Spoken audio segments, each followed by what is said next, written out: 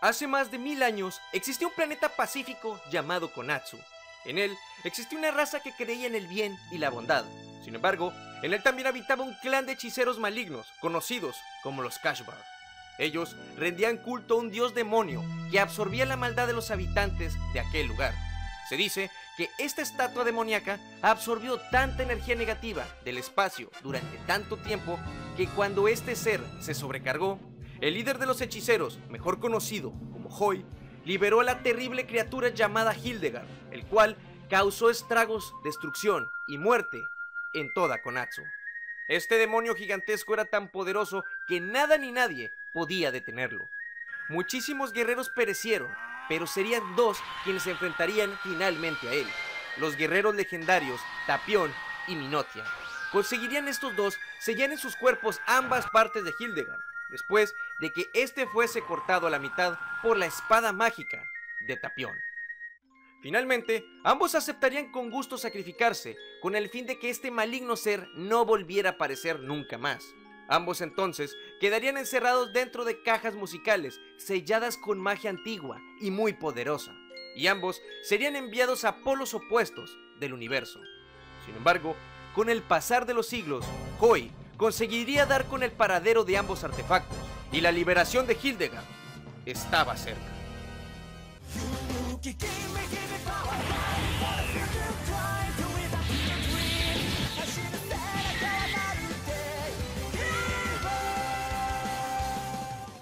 Tapión, el guerrero legendario de la Ocarina, haría su primera aparición en la película número 13 de Dragon Ball Z, El ataque del dragón.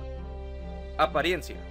Tapión es de aproximadamente 2 metros de altura, tiene la piel clara, un estilo de cabello mohawk con un estilo similar a la del Kaioshin del Este, de cabello color rojo brillante y un objeto que parece ser un accesorio para la cabeza de oro que cubre la superficie calva de su cabeza. Él maneja una espada y una ocarina mágicas. Personalidad.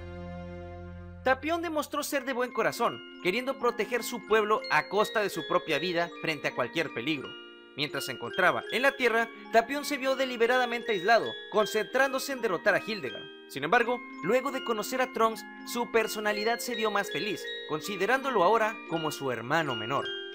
Se desconoce completamente la infancia de este poderoso guerrero, Solo sabemos que contaba con un hermano menor, y estos, al parecer, eran la élite de su raza, los guerreros más fuertes y valientes de toda Konatsu. No solo poseían un gran poder, sino que fueron instruidos en las artes de la espada y la magia. Lamentablemente, su vida pacífica, junto con la del resto de su raza, fueron amenazadas con el despertar del demonio Hildegard, y este, junto con su hermano, tuvo que combatir al gigantesco Kaiju alienígena.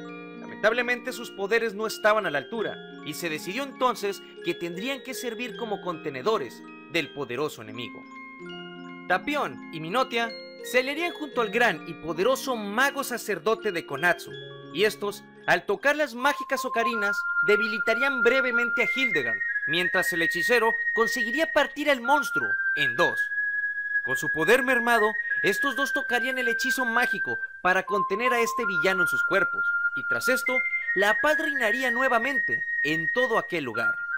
Es de suponer que acabaron con todos los hechiceros malignos Kashbar, a excepción de Hoy, por supuesto, quien escapó. Y luego de esto, el líder de aquel lugar ordenaría que Minotia y Tapion fueran sellados en las cajas musicales, y estos, como nobles guerreros, aceptarían a unas sabiendas que ambos hermanos no volverían a verse jamás. Tras esto, ambos serían sellados y mandados a polos opuestos, del universo.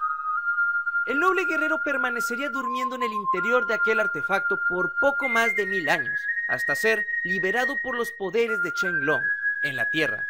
Nada más al aparecer, Hoi, entre la multitud, intentaría usar su hechicería maligna para liberar la parte superior del cuerpo del Konatsu. Sin embargo, este utilizaría la ocarina para evitarlo. Nada más al verlo, Tapión actuaría de manera hostil ante el maligno hechicero, y este escaparía se negaría a permanecer junto a los guerreros Z y decidiría aislarse con el fin de planear el cómo derrotar al titán monstruoso y al hechicero. Durante este periodo de tiempo, el espadachín mágico permanecería en una bodega abandonada, recibiendo visitas de Trunks quien le traía comida. En una de esas ocasiones, Tapión sentiría la maligna presencia de Hildegard, por lo que éste llegaría a la ciudad del oeste, en la que la parte inferior peleaba con el poderoso Gohan, y gracias a su ocarina lograría disipar el poder del titán, y se alejaría de allí. En otra ocasión, tras recibir otra de las constantes visitas del joven Saiyajin, Hoi aparecería para intentar robarle la ocarina, pero ambos confiarían el uno en el otro, y Hoi desistiría en sus planes. Tras esto, Tapión confiaría en el joven e iría a visitarlo a su casa. Y allí, tras pasar un tiempo con él y Trunks se quedara dormido, Tapión se iría, pero se toparía a Bulma. A ella le contaría su historia, así como el cruel destino al que fue condenado. La científica, tras escucharlo, decidiría ayudarlo, construyéndole una habitación especial donde éste pudiera descansar. Lamentablemente esto no funcionaría y Tapión sería torturado por la cruel y poderosa voluntad del titán demoníaco. Finalmente, este conseguiría liberarse y fusionarse con la otra mitad de su cuerpo. Tras liberarse, Hildegard destruiría la ciudad a diestra y siniestra, lamentablemente los poderosos guerreros Z no podían hacer nada en contra de él. No obstante, Hildegard se transformaría y se volvería aún más poderoso que antes y conseguiría derrotarlos definitivamente a todos. El guerrero legendario entonces aparecería, utilizando su poderoso escudo mágico con el que conseguiría repeler las poderosas llamas infernales del maligno demonio. Y acto seguido tocaría su legendaria melodía, con la cual el enemigo se debilitaría y al final lograría contenerlo una última vez. Sin embargo, esta vez Hildegard estaba completo y mucho más poderoso que antes. Apenas podía contener tal poder. Tapión le pediría a quien ahora consideraba su hermano menor que tomara su espada y que con ella acabara con él, con el fin de llevarse a Hildegard también a la tumba. El joven muchacho se negaría. Él no podía hacer esto, pero Tapión le animaría, y ahora, armado de valor, Trunks elegiría el duro camino del guerrero y decidiría ser lo mejor para todos. Lamentablemente, la voluntad maligna de Hildegard no se dejaría asesinar, por lo que éste se liberaría del cuerpo del guerrero en el último momento, y no obstante, la legendaria Ocarina sería destruida por completo. Ya no había manera de contener al demonio. Con todas las esperanzas perdidas, no había manera de derrotar aquella amenaza, pero por suerte, aún contaban con el poderoso Goku, quien se transformó en el legendario Super Saiyajin fase 3 y conseguiría defenderse y resistir todos los ataques del enemigo. Tras encontrar su debilidad, el poderoso Super Saiyajin conseguiría atacarlo con su nueva super técnica, el puño del dragón, con el cual conseguiría atravesar el pecho de su enemigo, envolverlo y desintegrarlo por completo en una poderosa explosión, acabando finalmente con él. Tiempo después de la batalla, gracias a Bulma, este tendría una última oportunidad de regresar a su época y a su mundo gracias a la máquina del tiempo. Y tras despedirse, Tapión le legaría su legendaria espada al pequeño Trunks y finalmente se iría para siempre.